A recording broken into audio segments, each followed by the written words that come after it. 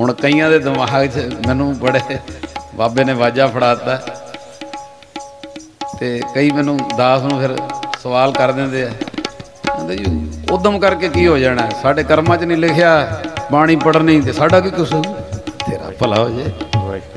ਇਹੋ ਜਿਹਾ ਨੂੰ ਕੀ ਜਵਾਬ ਸਾਡੇ ਕਰਮਾਂ 'ਚ ਨਹੀਂ ਲਿਖਿਆ ਨਾਮ ਜਪਣਾ ਜੀ ਉਦਮ ਨਾਲ ਕੀ ਹੋ ਜਾਏ ਸਾਡੇ ਕਰਮਾਂ 'ਚ ਨਹੀਂ ਲਿਖਿਆ ਅੰਮ੍ਰਿਤ ਵੇਲੇ ਉੱਠ ਤੇ ਮੈਨੂੰ ਅੱਜ ਤੋਂ 7 ਸਾਲ ਪਹਿਲੇ ਇੱਕ ਮਹਾਂਪੁਰਸ਼ਾਂ ਨੇ ਬਚਨ ਸੁਣਾਇਆ ਸੀ। ਤੁਸੀਂ ਸੁਣਿਓ। ਇੱਕ 17 18 ਸਾਲ ਦਾ ਬੱਚਾ ਸੀ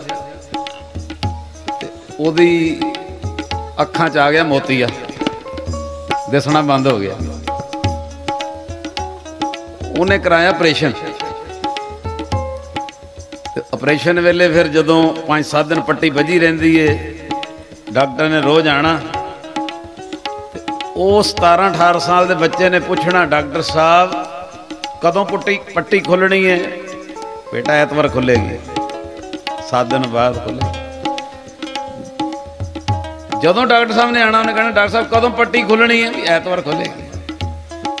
ਉਹਨੇ ਇੱਕੋ ਗੱਲ ਕਹਿਣੀ, ਡਾਕਟਰ ਸਾਹਿਬ, ਮੈਂ ਵੇਖ ਸਕਾਂਗਾ? ਹਾਂ ਹਾਂ, ਅਰਦਾਸ ਕਰੋ, ਤੂੰ ਵੇਖ ਸਕੇ ਡਾਕਟਰ ਸਾਹਿਬ, ਮੈਂ ਵੇਖ ਸਕਾਂਗਾ? ਹਾਂ, ਵੀ ਵੇਖ ਸਕਾਂ ਆਪਰੇਸ਼ਨ ਹੋਇਆ, ਗੁਰੂ ਮਿਹਰ ਕਰੇਗਾ। ਡਾਕਟਰ ਸਾਹਿਬ, ਮੈਂ ਪੜ ਵੀ ਸਕਾਂਗਾ। ਮੈਂ ਕਹਿੰਦੇ, ਹਾਂ। ਵੇਖੇਗਾ ਤੇ ਪੜੇਗਾ ਵੀ। ਕਹਿੰਦੇ, ਸਤਵਾਂ ਦਿਨ ਆ ਗਿਆ। ਇਹ ਮਹਾਂਪੁਰਸ਼ਾਂ ਨੇ ਮੈਨੂੰ ਬਚਨ ਸੁਣਾਇਆ ਸੀ, ਬੜੀ ਸਿੱਖਿਆ ਹੈ।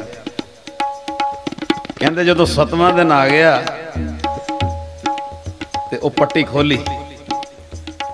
ਜਦੋਂ ਪੱਟੀ ਖੋਲੀ ਤੇ ਡਾਕਟਰ ਕਹਿੰਦਾ, ਬੇਟਾ, ਸਾਹਮਣੇ ਮਾਤਾ ਖੜੀ ਸੀ। ਬੇਟਾ, ਕੌਣ ਖੜਾ ਹੈ? ਬੱਚਾ ਕਹਿੰਦਾ ਮੈਨੂੰ ਧੁੰਦਲਾ ਧੁੰਦਲਾ ਨਜ਼ਰ ਆ ਰਿਹਾ ਹੈ, ਮਾਂ ਲੱਗਦੀ ਹੈ। ਬੇਟਾ ਉਹ ਪਰੇ ਕੌਣ ਖੜਾ ਹੈ? ਜੀ, ਉਹ ਪਿਤਾ ਖੜਾ ਹੈ। ਮੈਂ ਕਿੱਥੇ ਖੜਾ ਤੁਸੀਂ ਇੱਥੇ। ਹੁਣ ਮੈਨੂੰ ਥੋੜਾ ਥੋੜਾ ਪੱਟੀ ਖੋਲੀ ਸੀ ਇੱਕਦਮ ਕਲੀਅਰ ਨਜ਼ਰ ਆਉਣ ਲੱਗ ਪਿਆ। ਉਹ ਮੇਰਾ ਭਰਾ ਖੜਾ ਹੈ। ਬੜੀ ਖੁਸ਼ੀ ਹੋਈ ਸਭ ਨੂੰ। ਨਜ਼ਰ ਆਉਣ ਲੱਗ ਪਿਆ। ਉਹ ਬੱਚਾ ਕਹਿੰਦਾ, ਡਾਕਟਰ ਸਾਹਿਬ, ਮੈਂ ਪੁੱਛਿਆ ਸੀ ਮੈਂ ਵੇਖ ਸਕਾਂਗਾ। ਹਾਂ ਵੇਖ ਲੈ, ਤੂੰ ਵੇਖ ਰਿਹਾ ਮੈਂ ਪੜ ਵੀ ਸਕਾਂ। ਹਾਂ ਭਾਈ ਕਹਿੰਦੇ ਉਹ ਕਿਤਾਬ ਲਿਆਂਦੀ। ਕਿਤਾਬ ਲਿਆਂਦੀ। ਹਾਂ ਬੇਟਾ ਆ ਪੜੋ ਕੀ ਲਿਖਿਆ ਉਹ ਕਹਿੰਦਾ, ਡਾਕਟਰ ਸਾਹਿਬ, ਮੈਨੂੰ ਨਹੀਂ ਪਤਾ ਲੱਗ ਰਿਹਾ। ਬਈ ਮੋਟੇ ਅੱਖਰਾਂ ਦੀ ਲਿਆਓ। ਬਰੀਕ ਅੱਖਰ ਹੋਣੇ ਅਜੇ ਜੇ ਹੁਣੇ ਆਪਰੇਸ਼ਨ ਹੋਇਆ। ਮੋਟੇ ਅੱਖਰਾਂ ਦੀ ਆ ਗਈ। ਬੇਟਾ ਪੜੋ ਕੀ ਲਿਖਿਆ? ਡਾਕਟਰ ਸਾਹਿਬ, ਮੈਨੂੰ ਨਹੀਂ ਪਤਾ ਲੱਗ ਰਿਹਾ। ਉਹ ਹੋਰ ਮੋਟੇ ਅੱਖਰਾਂ ਦੀ ਲਿਆਓ ਬਈ। ਹੋਰ ਮੋਟੇ ਅੱਖਰਾਂ ਦੀ ਕਿਤਾਬ ਆ ਗਈ। ਬੇਟਾ ਪੜੋ ਐ ਨਜ਼ਰ ਆ ਰਿਹਾ ਮਾਂ ਹੈ ਪਿਓ ਹੈ ਪਿਤਾ ਹੈ ਤੇ ਪੜੋ ਕੀ ਲਿਖਿਆ ਡਾਕਟਰ ਸਾਹਿਬ, ਨਹੀਂ ਪਤਾ ਲੱਗਦਾ। ਬੇਟਾ, ਐਡੇ ਮੋਟੇ ਅੱਖਰਾਂ ਦੀ ਮਾਂ ਨਜ਼ਰ ਆ ਰਹੀ ਹੈ ਤੇ ਕਿਤਾਬ ਤੇ ਨਹੀਂ ਪੜਿਆ ਜਾਂਦਾ। ਕਹਿੰਦਾ, ਮੈਂ ਪੜਾਂ ਕਿਵੇਂ? ਪੜਿਆ ਹੀ ਨਹੀਂ ਹੋਇਆ ਮੈਂ। ਪੜਾਂ ਕਿਵੇਂ? ਭਾਵੇਂ ਮੋਟੇ ਅੱਖਰਾਂ ਦੀ ਕਿਤਾਬ। ਮੈਂ ਪੜਿਆ ਹੀ ਨਹੀਂ। ਸੁਣਿਓ।